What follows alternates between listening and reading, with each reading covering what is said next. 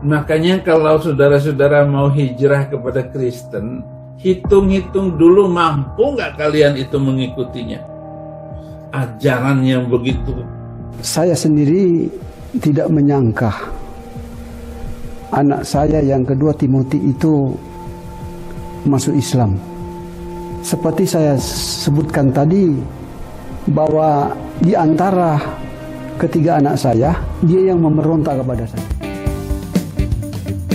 Assalamualaikum warahmatullahi wabarakatuh. Alhamdulillah Ikhwan Filah jumpa kembali bersama kami Tukang Nyimak. Kali ini kami suguhkan cuplikan video dari keluarga Padance Mumek, yang kini diikuti oleh putranya, yaitu Timothy Mumek.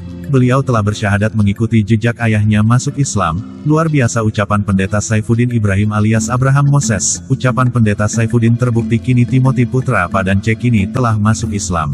Baik Ikhwan Filah mari kita simak bersama, semoga ada manfaatnya bagi kita semua, selamat menyaksikan. Larang orang masuk Kristen. Dari satu sisi yang mungkin benar, bisa saja benar maksud saya. Memang saya bilang, jangan masuk Kristen karena di dalam Kristen aja banyak manusia jahat. Contohnya itu Ferdi Sambo. Itu orang Kristen. Ferdi Sambo itu melakukan kejahatan karena memang sudah banyak kebohongan-kebohongan yang sudah dia lakukan sehingga dia bertindak di luar batas. Sama semua karena dicontohkan, diajarkan di dalam kitab suci boleh menyebarkan fitnah karena sudah dipraktekkan. Itu sebabnya saudara-saudaraku bagaimanapun mereka itu mengerikan saudara-saudara. Kabar yang berikutnya yang mengembirakan kita semuanya adalah yakni putra yang kedua. Putra yang kedua, Yang kedua, Timothy Mumek. namanya adalah Mas Timothy Mumek. Ya, Saudara Timothy Mumek ini adalah putra beliau yang nomor dua dan yang paling benci kepada beliau ketika beliau masuk Islam. Dulu ketika uh, beliau masuk Islam, Tuan Guru Bapak dan Cemumek kembali pulang ke Manado sana setelah dari Jakarta, Surabaya, ya, sempat ke Malang, terus kembali ke Manado. Orang yang pertama kali mengusir Tuan Guru Bapak dan Cemumek adalah saudara Timothy Mumek, putra beliau yang, yang kedua, yang sangat bencinya ketika ayahanda beliau masuk Islam. Alhamdulillah eh, yang lalu sekitar dua hari, dua hari tiga hari, tiga hari yang lalu itu saya mendapatkan kabar bahwa memang Mas Timothy Mumek akan masuk Islam. Iya, cuman dikiranya mau bercanda karena putra beliau yang satu ini bencinya minta ampun kepada Islam. Betul.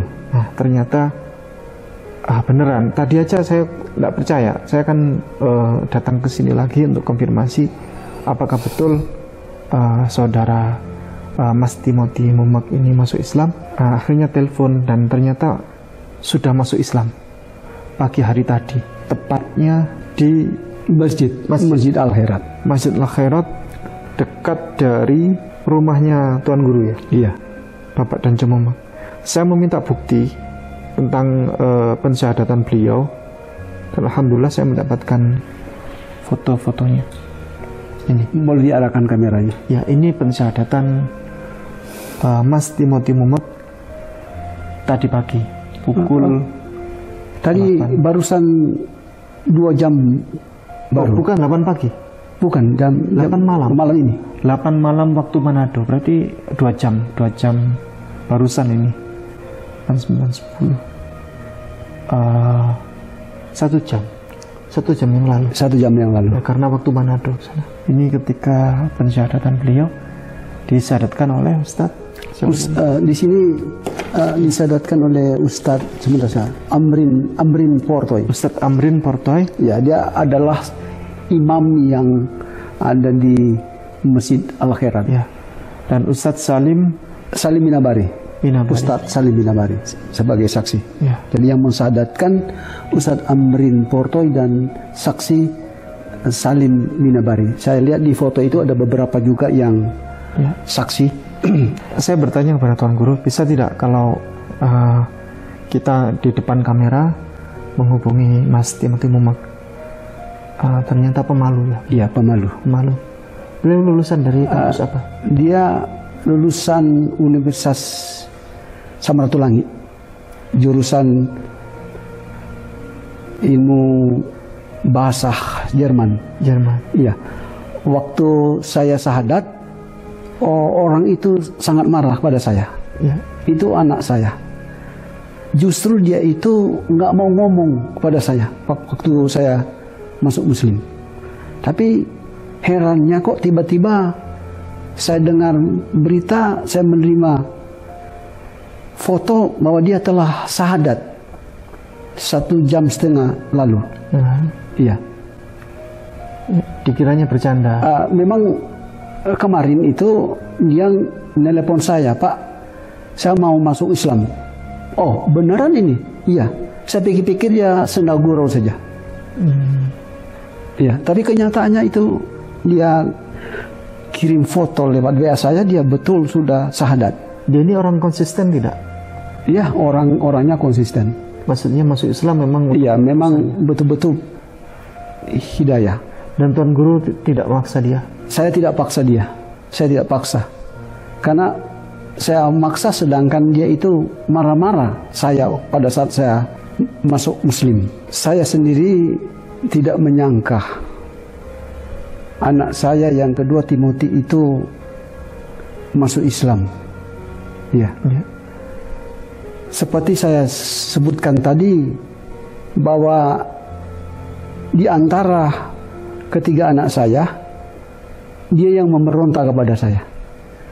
Ketika dia mendengar saya telah memeluk Islam, justru dia usir saya dari rumah. ya luar biasa. Saya pikir itu adalah panggilan.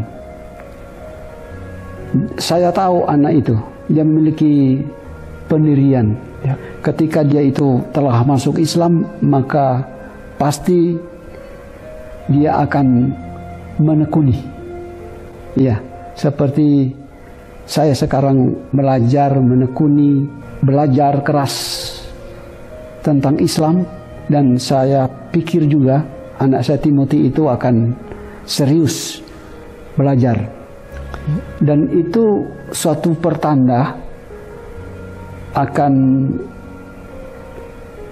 keluarga saya sendiri semua pasti akan mengikuti jejak saya. Amin.